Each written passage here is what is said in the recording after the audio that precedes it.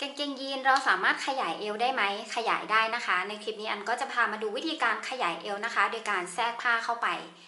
ตัวนี้เป็นตัวที่อันนะคะได้แก้ไขให้ลูกค้าเสร็จเรียบร้อยแล้ว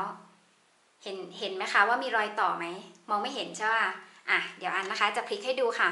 หนึ่งสองสามนี่ค่ะ รอยต่ออยู่ข้างในเห็นไหมคะ อันนี้เป็นผ้าที่อันนะคะได้แทรกเข้าไปนะคะ คือด้วยความที่ตัวนี้เนี่ยเรานะคะมาวิเคราะห์ดูก่อน โครงสร้างของขอบเอวกางเกงค่ะ กางเกงยีนโดยรอบแบบนี้เขาจะไม่มีผ้าสำหรับขยายอยู่แล้วเนาะฉะนั้นค่ะเราก็จะต้องทำการในการแทรกผ้าเข้าไปยิ่งตัวนี้ค่ะเขาต้องการขยายออกนะคะอยู่ที่ 1.5 ก็คือ1ครึ่งอะค่ะมันค่อนข้างที่จะเยอะ ฉะนั้นตะเข็บก็ไม่มีขยายนะคะ เราก็จะทำการแทรกผ้าเข้าไป ตัวนี้นะคะ ด้วยความที่โครงสร้างเนี่ยเข้ามาแบบนี้ แล้วก็มีป้ายอยู่ตรงนี้ด้วย อันก็เลยทำการแทรกผ้านะคะ เข้าไปตรงบริเวณด้านในของป้ายตรงนี้ค่ะ มันจะได้มองไม่เห็นนะคะ หลังจากที่แก้ออกมาเนาะ อันนี้ก็จะเป็นเทคนิค แต่ถ้าเกิดว่ากางเกงค่ะของเพื่อนๆเนี่ยมันไม่ได้มีป้ายแบบนี้ แล้วถ้าเราค่ะพอหาสีผ้าที่มันใกล้เคียงกันกับ ตัวกางเกงได้ก็แทรกตรงกลางหลังตรงนี้ก็ได้นะคะ ตรงนี้เลยล้อไอ้หูตัวนี้ออกก่อนแล้วก็แทรกผ้าเข้าไปนะคะ ตรงกลางตรงนี้นะคะอะแต่หัวใจหลักค่ะของการแทรกผ้าเข้าไปนะคะ ถึงแม้ว่าสีที่อันนะคะเอามาแทรกให้ลูกค้าเนี่ยมันจะไม่ได้แบบสีเหมือนกันกับตัวกางเกงนะคะ แต่ว่า เนื้อผ้าค่ะจะต้องเหมือนหรือว่าใกล้เคียงกันนะคะ ผ้ายีนมันมีความหนาหน่อย เราก็ต้องใช้ผ้ายีนเหมือนกันเท่านั้น ในการต่อขอบเอวแบบนี้นะคะ อันนี้เป็นหัวใจหลักของการของงานแก้ หลังจากแก้แล้วนะคะขอบเอวมันจะไม่ย้วย ใส่ออกมาก็จะสวยนะคะ นี่โอเคอะมาดูกันเนาะว่าอันนะคะมีขั้นตอนในการทำยังไง เดี๋ยวเดี๋ยวเรามาวิเคราะห์แพทเทิร์นกันก่อนกางเกงยีนตัวนี้นะคะ หน้าตาของเขาก็คือ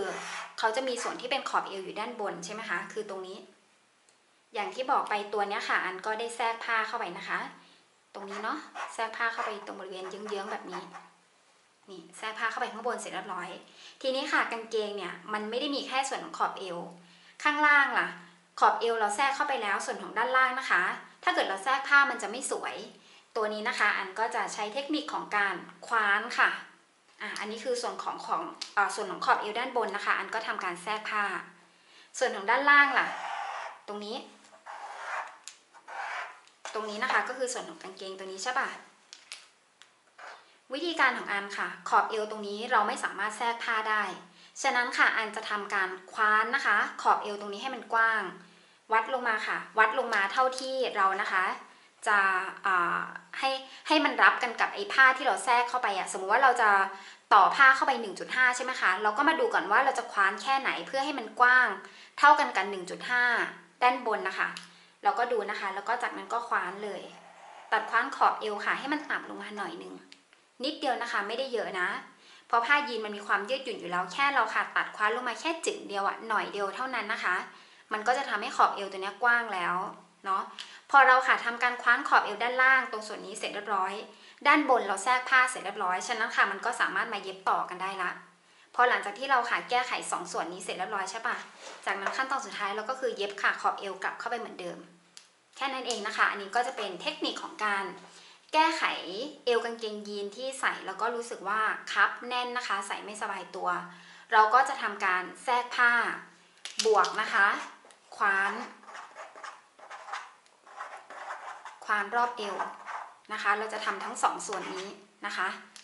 งานก็จะได้ออกมาอย่างที่เห็นค่ะนี่ด้านนอกเนี่ยมองไม่เห็นเลยว่าเป็นรอยต่อเนาะแต่ว่าด้านในค่ะ รอยต่อมันจะอยู่ด้านใน แต่ตอนใส่เนี่ยมองไม่เห็นนะ นี่ค่ะ งานแก้วมาก็จะไม่เสียทรงด้วย นี่นะคะ ออกมาแบบนี้